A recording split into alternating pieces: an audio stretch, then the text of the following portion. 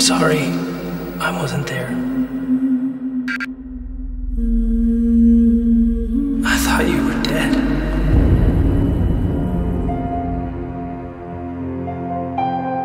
Hey, Alex, this is your Aunt Rachel. This is you. Look, I want you to know I'm gonna be there now. I'm gonna help you through this. I've been caring for people all my life. I'll take good care of her. You know, you haven't said a thing to me since I've been here. Are you okay?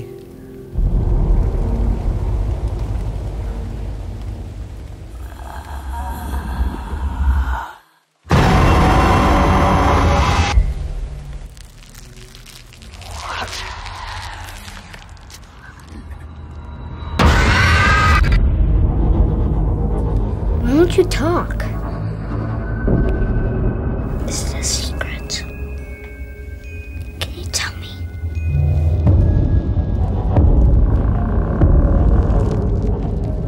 I'm gonna get out of town. I'm gonna get as far away from here as possible.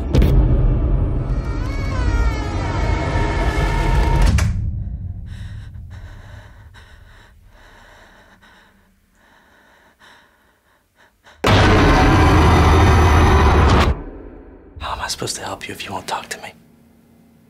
Hmm.